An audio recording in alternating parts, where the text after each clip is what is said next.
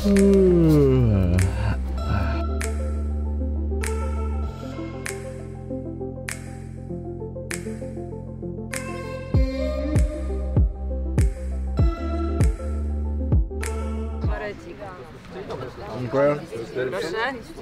Dzień dobry, dzień dobry.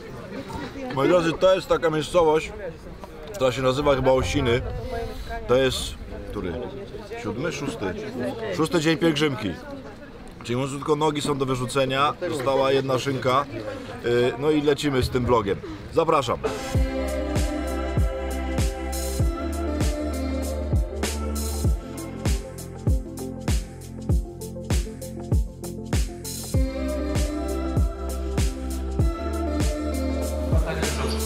Czasu sam się sobie dziwię, że mi się kazania dominikantów podobają. Nie zawsze tak było, więc może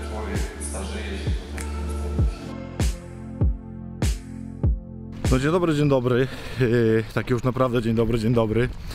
Moi drodzy, strasznie świeci, ale zaraz będzie trochę jakiegoś cienia, więc może będzie trochę lepiej.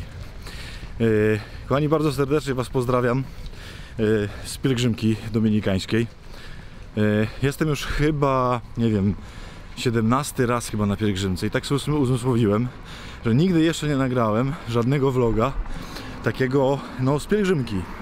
To trochę stąd, że strasznie trudno jest nosić ten cały sprzęt na pielgrzymce i tak dalej, ale Mateusz teraz przyjechał, a skoro przyjechał, no to jest opcja na to, żeby coś nagrać. Yy, od 6 chyba lat, kochani, chodzę z taką grupą, która się nazywa Pokuta. Stworzyłem ją jakieś 6 lat temu, tą grupę. Cudowna w ogóle grupa, cudowna ekipa ludzi. Chodzimy sobie w większości yy, w ciszy, w milczeniu. Trochę z konferencji, trochę Słowa Bożego, trochę się modlimy, ale przede wszystkim słuchamy Pana Boga w ciszy. E, przecudowni w ogóle ludzie i przecudowna e, ekipa w ogóle pielgrzymkowa. Bardzo fajne jest to, że śpimy zawsze razem, dlatego że nie chodzimy nigdy na żadne kwatery i takie tam rzeczy, tylko zawsze albo namioty, albo ewentualnie śpimy w jakiejś tam remizie, albo w szkole. Więc zawsze wszyscy razem, więc po sześciu dniach, a dzisiaj jest szósty dzień e, pielgrzymki, to mamy już zawsze zbudowaną taką po prostu rodzinną atmosferę, że jest po prostu przeekstra. Chciałbym, żebyście trochę tego zobaczyli, żebyście zobaczyli jak wygląda e, pielgrzymka dominikańska, trochę ładnych obrazków, no i będzie oczywiście e, trochę gadanka. Jak widzicie, mam też bardzo gustowny kapelusz. Mój, e, moja czapka nie zrobiła roboty w tym roku, więc musiałem pożyczyć kapelusz. No i mam właśnie taki różowy, bardzo myślę gustowny. Dobra, idźmy. E, Będzie potem jakieś na pewno gadane.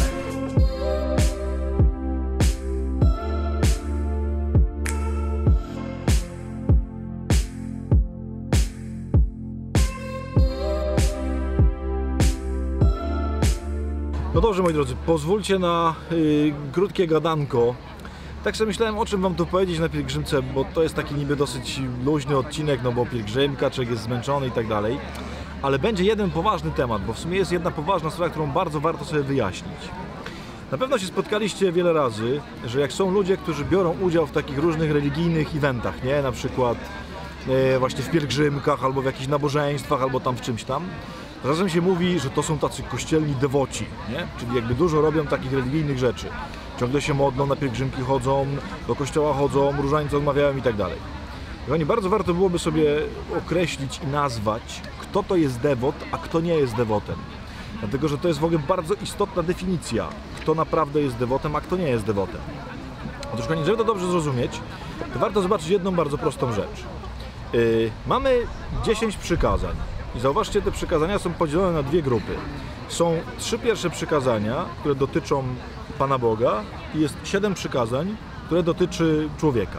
Czyli trzy przykazania, trzy przykazania Pan Bóg poświęcił sobie, siedem miłości ludzkiej, tego jak się nawzajem nie krzywdzić. I kochani, z tym się wiąże bardzo prosta definicja dewocji. Otóż jeżeli ktoś przede wszystkim przestrzega pierwszych trzech przykazań, czyli rzeczywiście Pana Boga postawił w centrum swojego życia, modli się, jest mu wierny, jest z nim zawsze, ale te siedem pozostałych trochę nie bardzo, czyli mówiąc ludzi nie bardzo kocha, to ktoś taki to jest dewot. Kochani, dewocja to jest kochanie Pana Boga, ale nie kochanie ludzi. Natomiast prawdziwa pobożność i coś, co jest jakby byciem rzeczywiście uczniem Pana Jezusa, to jest kochanie Pana Boga z całego serca i jednocześnie kochanie ludzi. I kochani, jeżeli spotykacie kogoś, kto się tylko i wyłącznie modli, nie wiem, chodzi do kościoła, bierze udział w religijnych różnych eventach i tak dalej, ale nie widać w nim miłości do ludzi, to to jest właśnie dewot. Jeżeli jest ktoś, kto chodzi do kościoła, chodzi na pielgrzymki, chodzi na tysiąc innych różnych religijnych eventów i tego może być nawet bardzo dużo, ale w nim jest mnóstwo miłości do ludzi, to ktoś taki nie ma nic wspólnego z dewocją. I kochani, to jest bardzo ważne rozróżnienie, dlatego że dewocja jest absolutnym zaprzeczeniem Ewangelii. Zobaczcie, jak zapytano Pana Jezusa o przykazania, które są najważniejsze, to Pan Jezus bardzo wyraźnie powiedział, że jest jedno tylko przykazanie. Kochać Boga, kochać bliźniego jak siebie samego. Czyli muszą być w człowieku połączone te trzy miłości. Miłość do Boga, miłość do człowieka, miłość do- siebie samego. I ktoś, kto ma te trzy miłości, nie jest zdewociały. Ktoś, kto kocha tylko Boga, kochani, bo nie oszukujmy się, Boga jest dosyć łatwo kochać. Pan Bóg jest fajny, jest dobry, jest miłosierny, nie robi nam krzywdy. Jego nie jest trudno kochać, bo to jest coś naprawdę super, że tak powiem, kochliwy.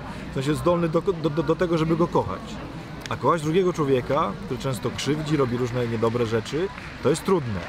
Ale właśnie, dewocja to jest tylko to pierwsze, czyli kocham Boga, a ludzi mam gdzieś. I zauważcie, jak czasem nam, nam mówią, zarzucają nam chrześcijanom, że wy to do kościoła chodzicie, modlicie się, sakramenty przyjmujecie, a potem wychodzicie z kościoła i jesteście tacy podli. Uwaga, ten zarzut jest bardzo słuszny, bo to jest zarzut czystej dewocji.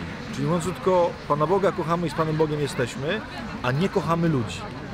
I moi drodzy, warto sobie tę definicję zapamiętać. Dewot kocha Boga, nie kocha ludzi.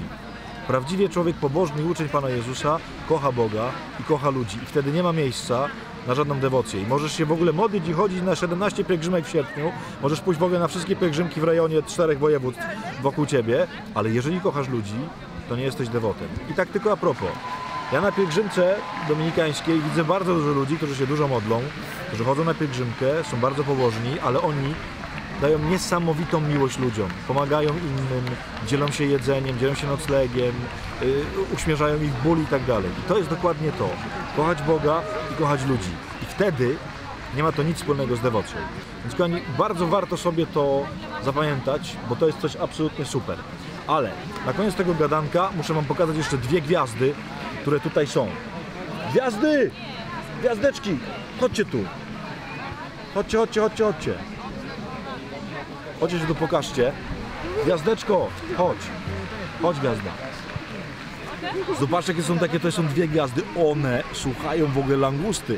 I się okazało, że mnie znają i przyszły się w ogóle przywitać i przyszły pomachać. Więc pomachajcie teraz wszystkim widzom langustowym ekstra.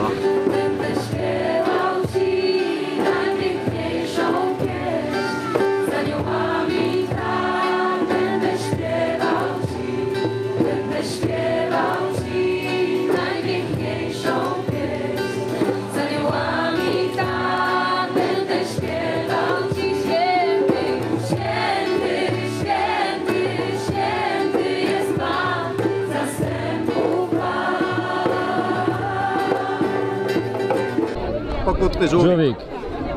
No dobrze, moi drodzy, to tyle by było, jeżeli chodzi o ten y, odcinek. Y, właśnie wchodzimy już do Częstochowy, za półtorej godziny jesteśmy w Częstochowie. Ci mi tu grają, po prostu nic nie słyszę. I wy prawdopodobnie też niewiele słyszycie, ale bardzo was pozdrawiam, bardzo was błogosławię i mam nadzieję do zobaczenia w jakichś następnych y, odcinkach. Pan Bóg raczy wiedzieć skąd. Miejcie się najlepiej, ściskam, błogosławię. Pa!